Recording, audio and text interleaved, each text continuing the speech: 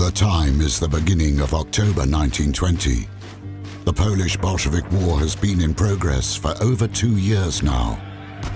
The stakes include not only the future shape of a newly reborn Polish Republic, but also the very independence and sovereignty of Poland.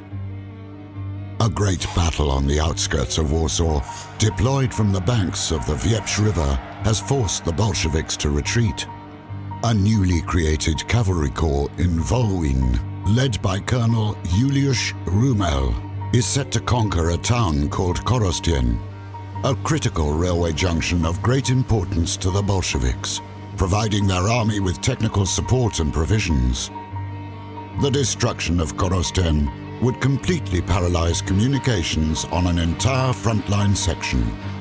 Polish troops now have to face the infamous armored trains, spreading fear among the soldiers. Heavily armed and reinforced, the trains fiercely defend the town of Korosten. The Soviets do not realize that the Poles are in control of the situation, thanks to the breaking of secret communication codes and constant radio monitoring.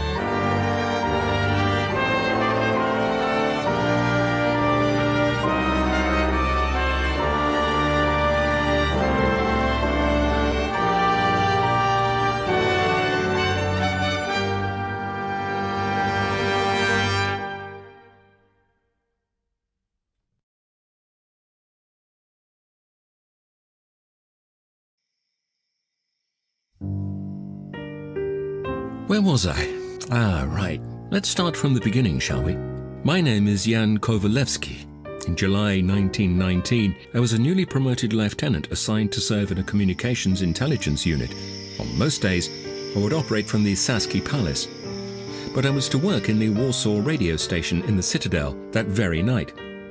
And it was exactly then that we managed to change the face of the war to come.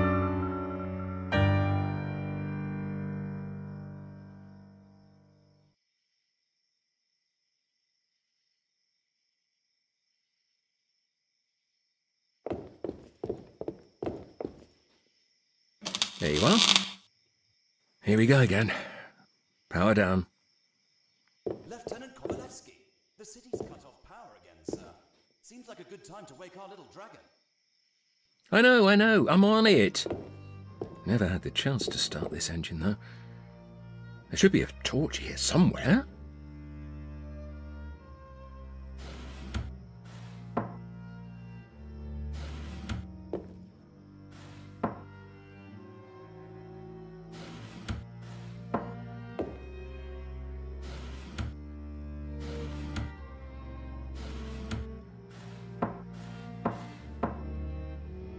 We have here? The sequence seems quite simple. Let's see how it works.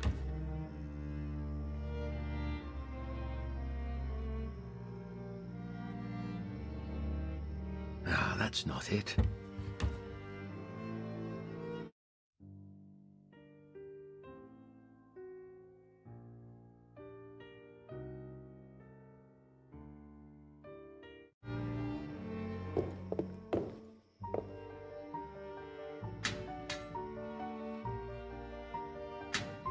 Wrong sequence, maybe?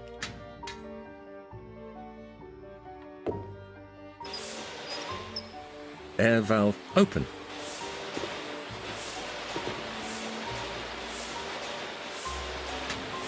Now, quick. The fuel valve. We do have fuel. Halfway through, and now, ah, the switchboard.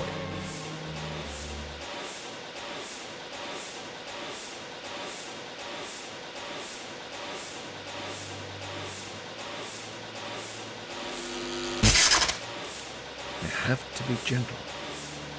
Where's that damn fuse?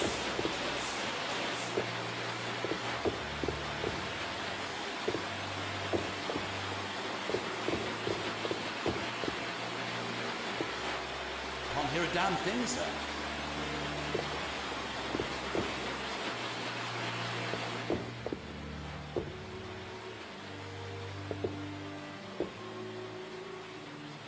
We could use that.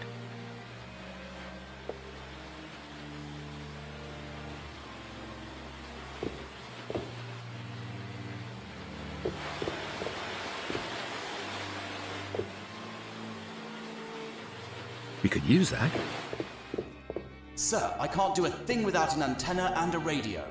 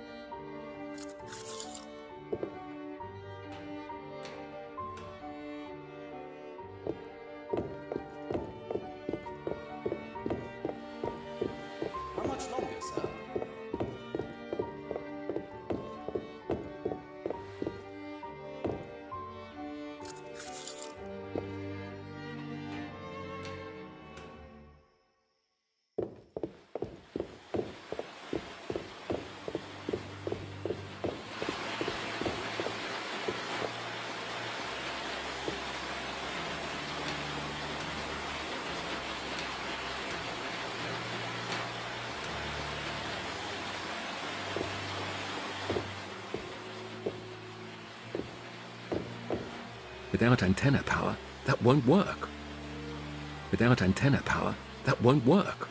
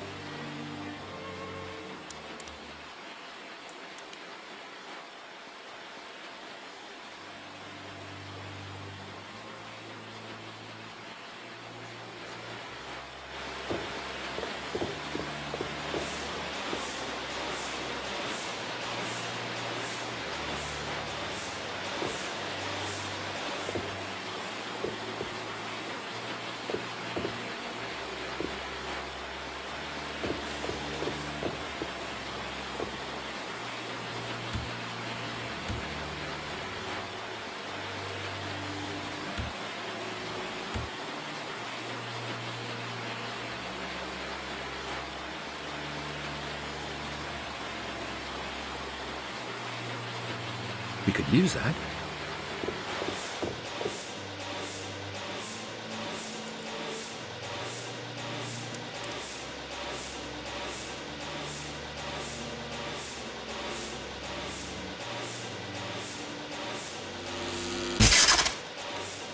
Three times lucky.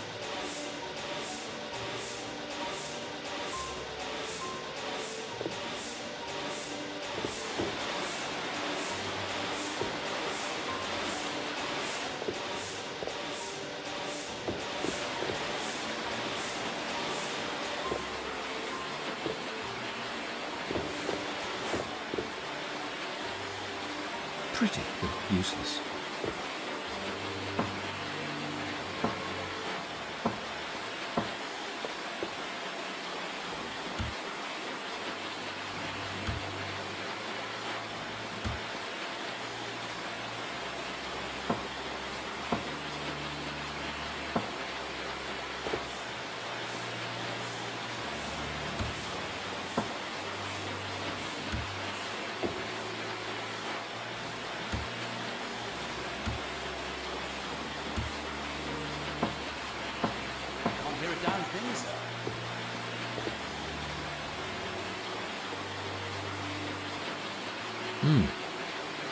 Interesting.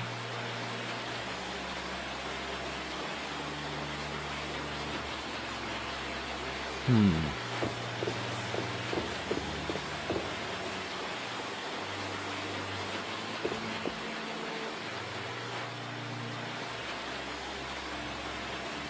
We could use that.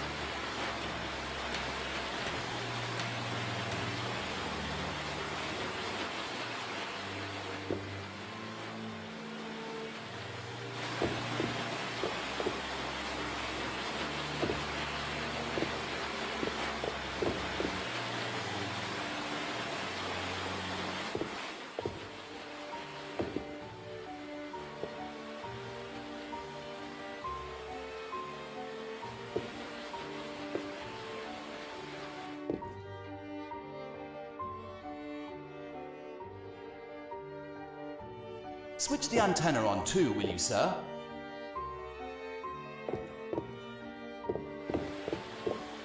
Without antenna power, that won't work.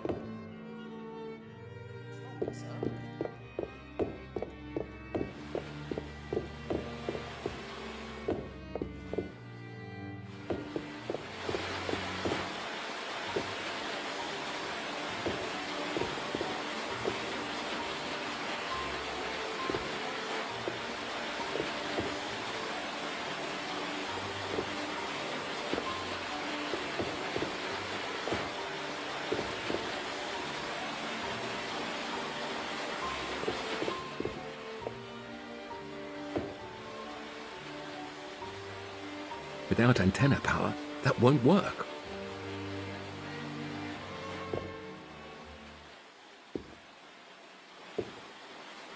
Without antenna power, that won't work.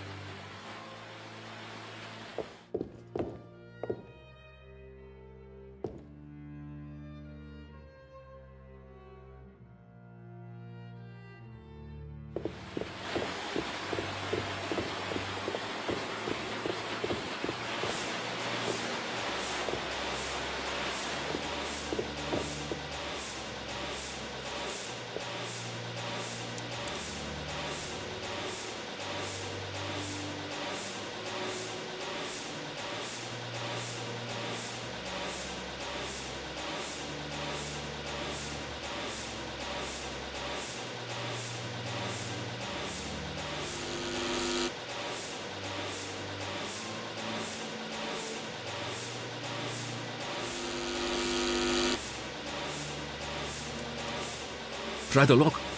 First voyage behind us. Now we have to start the radio station.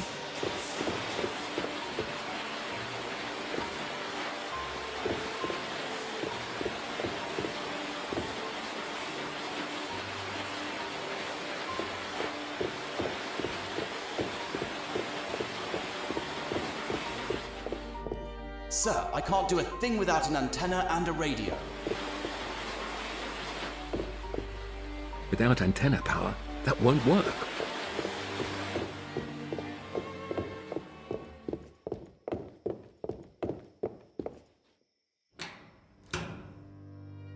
Left one done.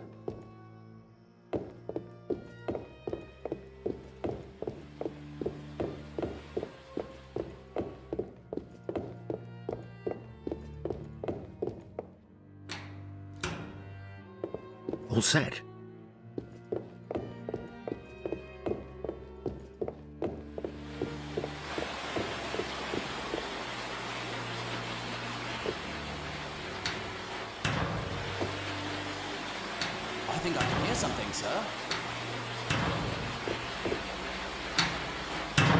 Sequence again?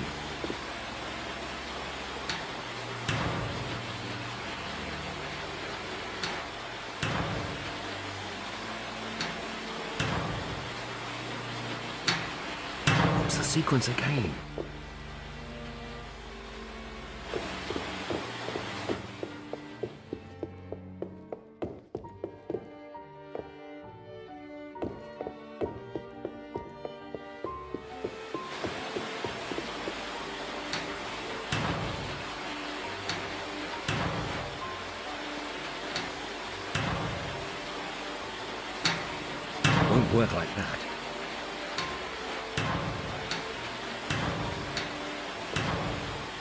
Worked.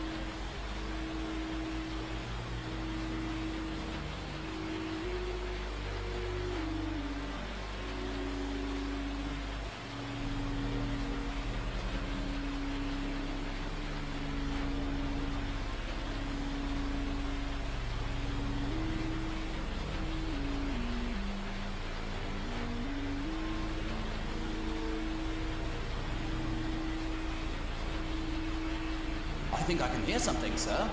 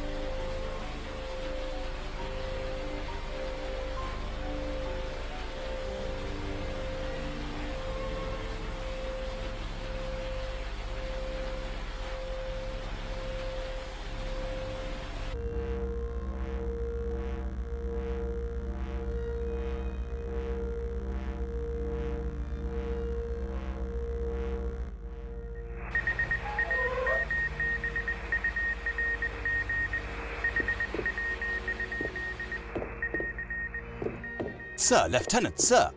We have signal from Lviv. Here's my dispatch. Let's see if the comb idea works as in my concept.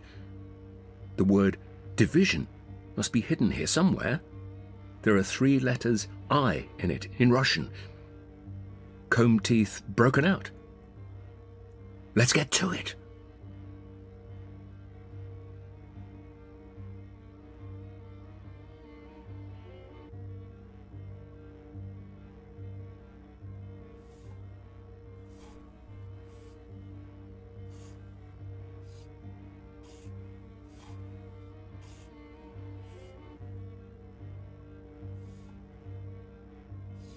I must find three identical pairs of digits.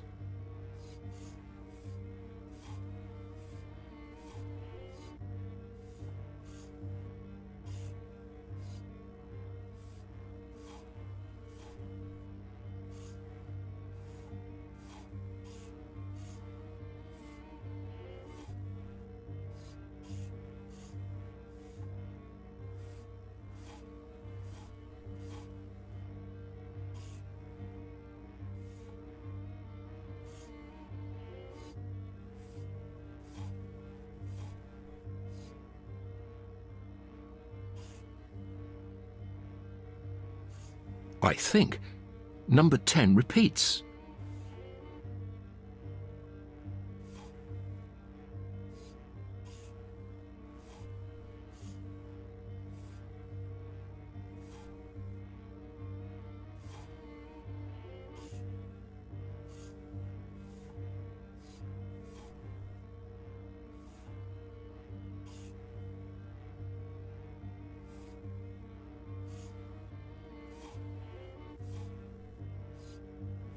Amazing.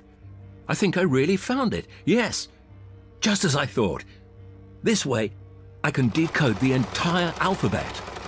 Amazing. I think I really found it. Yes, just as I thought. This way, I can decode the entire alphabet. A comb does not seem to be a sophisticated cryptological tool when you think about it. Anyhow, it was this simple method that allowed the Polish intelligence to break the Delegate, a Soviet cryptographic cipher. From then, events unfolded quickly. Within two weeks, a new organizational unit, the 2nd Division of Foreign Ciphers, was brought to life in the cipher section with Lieutenant Jan Kowalewski as its commander.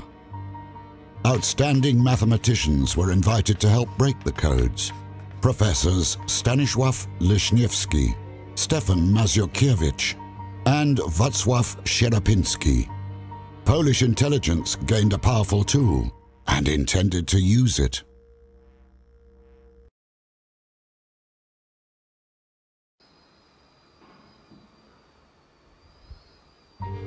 When they started establishing voluntary regiments of Chevaux Légers in July 1920, I knew I must be part of one. Who, if not Jan Hluzinski? Sergeant Major Jan Hluzinski. Honestly, everyone in our HMG squadron thought precisely the same. Nonetheless, I was not expecting to be assigned such an important mission just three months after the 201st Regiment was formed. It is the 8th of October, 1920, and I have no doubt that Korosten will soon be ours. Our boys in the radio intelligence have captured the location of maps showing the positions of all armoured trains in the area. Somebody must break into the Korosten stronghold and access the safe in one of the officers' wagons, quietly. And who could be more fit for the job than Sergeant Major Jan Hluzinski?